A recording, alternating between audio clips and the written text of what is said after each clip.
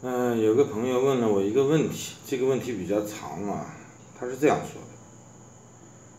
他说他认为当今世界除了美国不会被打压，就相对而言不会被打压，别的国家都会被打压，区别只在于打压的方式、力度、范围不一样。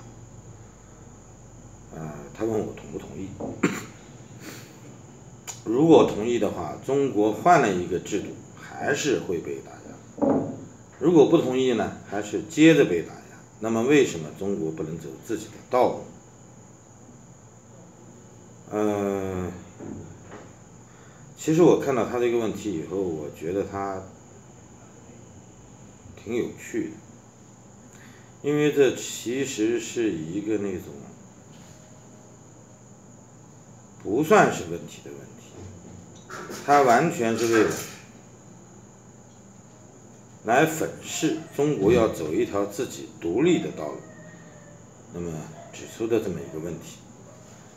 嗯，其实呢，这个问题它分两截儿，就第一个就是什么样的国家不会被打压，第二个就是中国走自己的道路是有自己的呃必要性。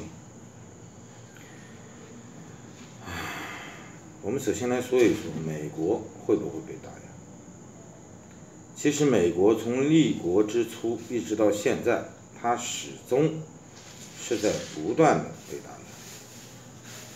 哪怕是两个世纪以前，他们获得了工业总产值的世界第一，但是他们还是在被英国打。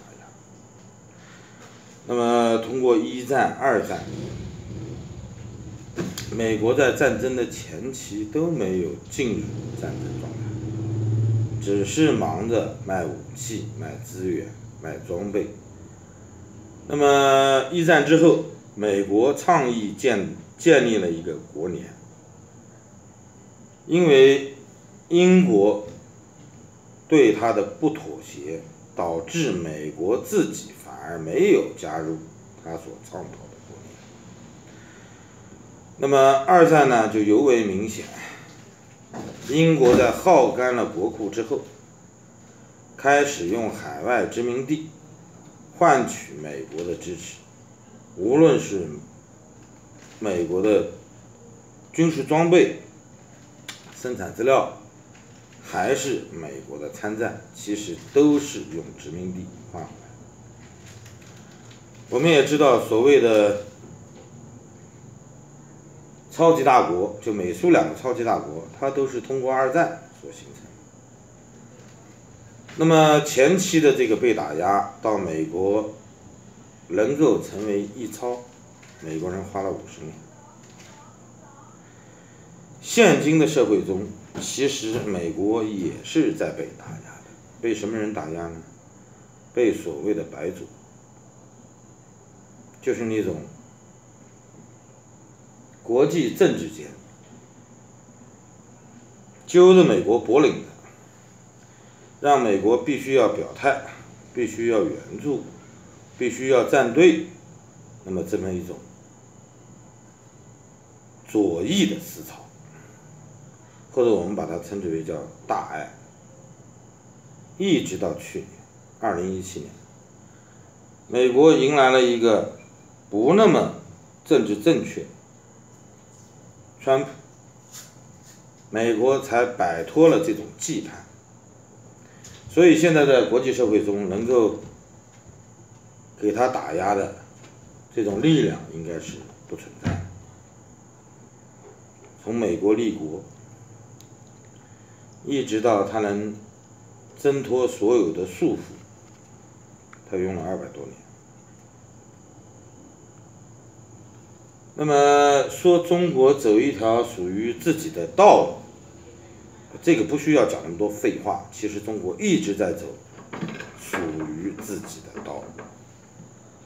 那么中国有两千多年的这个王朝时代，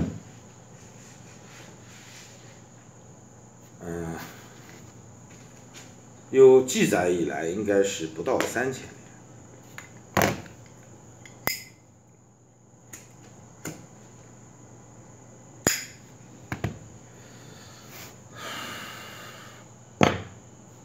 一直到最近，到我们现在看到的这个中华人民共和国，有的人。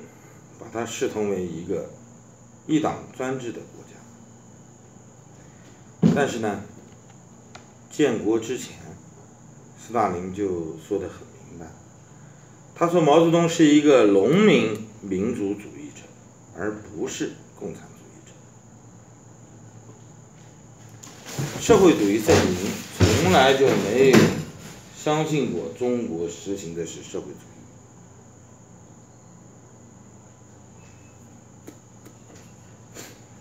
那么我们也知道，从中共建政到现在，这个政策已经变了很多回了。呃，毛泽东时期呢，是一个典型的试图用有悖于中国传统政治的治世模式。来改变中国，他发起了这个文化大革命，试图摧毁中国世家大族以及旧文人对政治的干涉，在地方上，他摧毁了宗族的势力。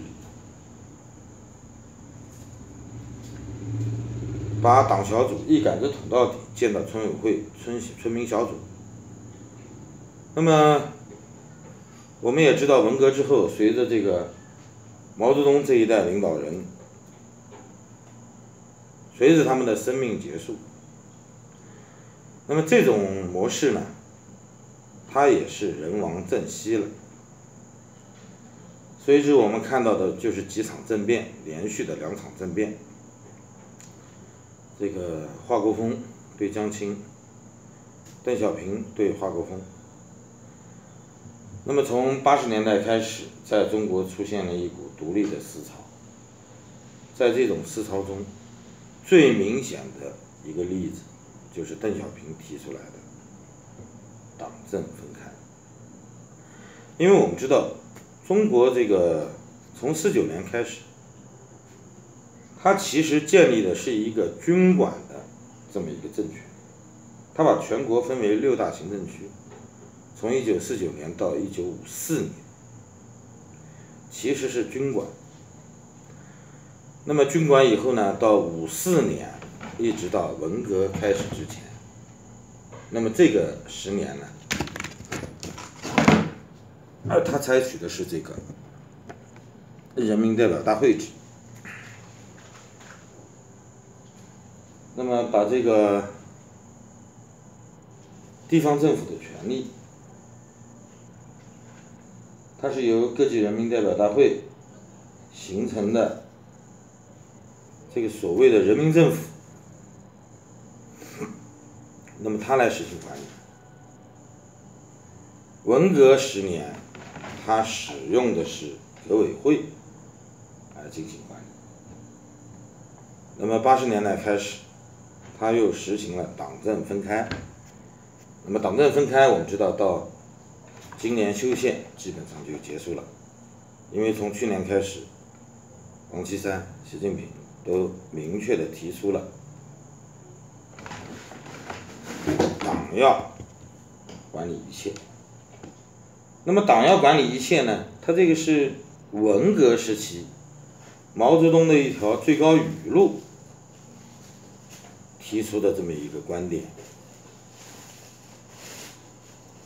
包括文革之后，十三大开始修改的党章，把党的这个领导模式，那么形成文字在党章中提出了要集体领导，到现在提出党要管理一切。这个轮回呢，其实很快，也就三十多年的事儿。看中国呀，其实不用那么复杂，因为中国呢，它跟大多数国家它不一样，呃，它既不是三权分立，也不是 威权国家。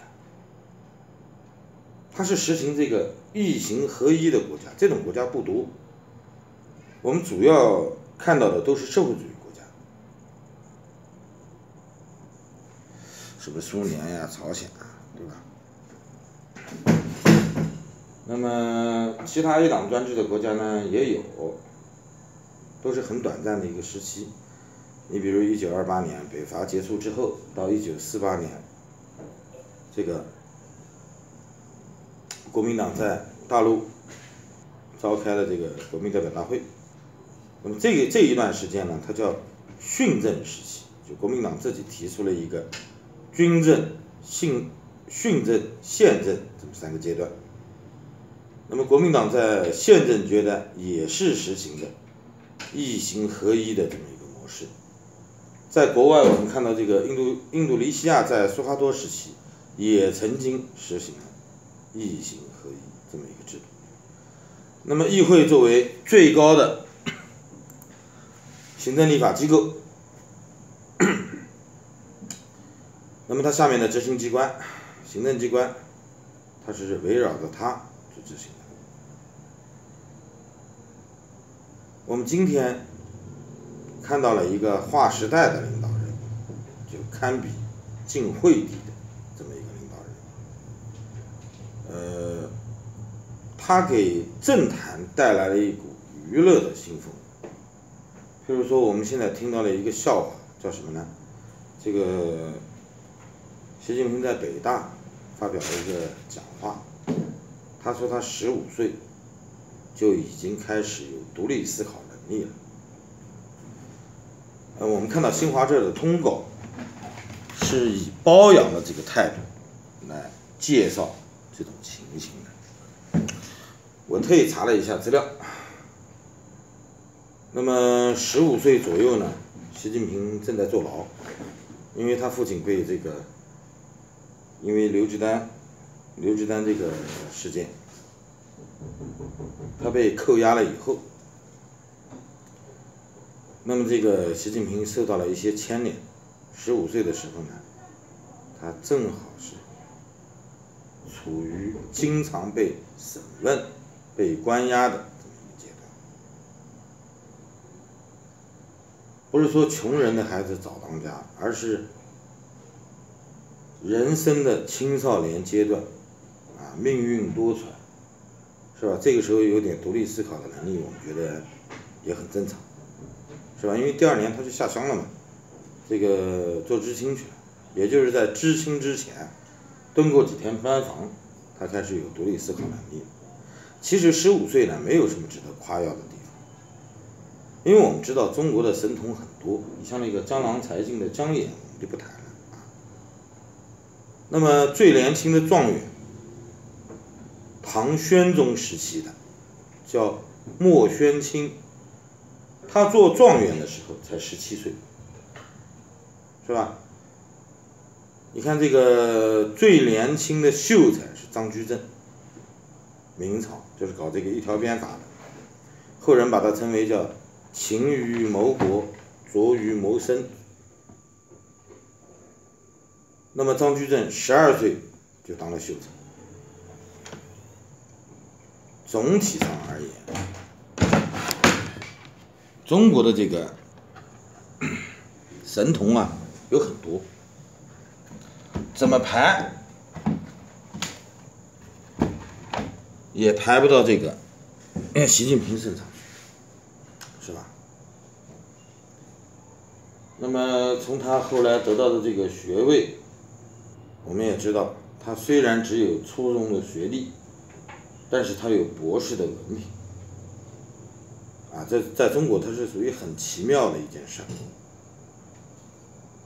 我们可以很清晰的看到，正在准备为整个世界提供中国方案。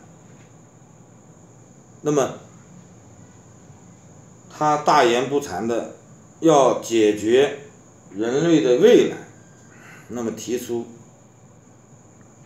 要构建一个人类命运共同体的这么一个领导人，他其实呢是有自己的一些想法，他一直在走的自己的道路。中共建政到现在，所谓的道路，他已经换了很多条。不是说你要不要走中国特色的道路，而是中国一直在走属于自己的道路。这个道路呢，从成立之初，毛泽东时期一直到习近平时期，他都在变。那么我们知道，习近平也好，毛泽东也好，他走的都是王朝政治的这么一条道路。他用很多现代的语来装点它。毛泽东是靠威信。因为这个国家是他建立的，习近平是靠幻觉，因为他觉得他可以重塑辉煌，不用去揣摩中国走什么样的道路，因为他走什么样的道路他自己都不知道，你更不可能。在这个世界上，没有人会刻意的去打压某一个国家。我们现在知道，联合国认可的国家呢，有一百九十五个，大概是，那么还有二三十个地区，那么也就意味着现在在国际社会中有两百多个国家和地区，这是一个共存共荣的世界。你做的对，你做的好。有国家去称赞你，去向你学，这个才是最重要的。至于你去计较谁去打压你，或者你防着谁去打压你，我觉得意义不大。你想走什么道路是你自己选的。这个世界上没有一个国家所走的道路是被全球推走的，包括美国也不是。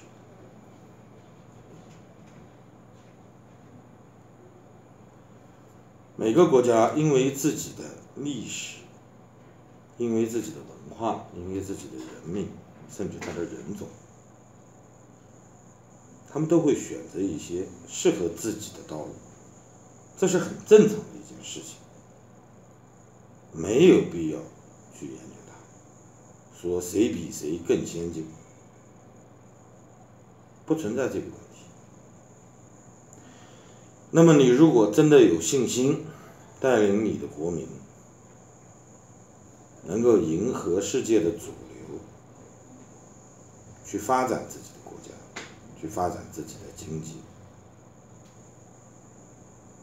让你的国家被全世界大多数人民所羡慕，有人愿意来学习，有人愿意往你这儿移民，这就叫成功。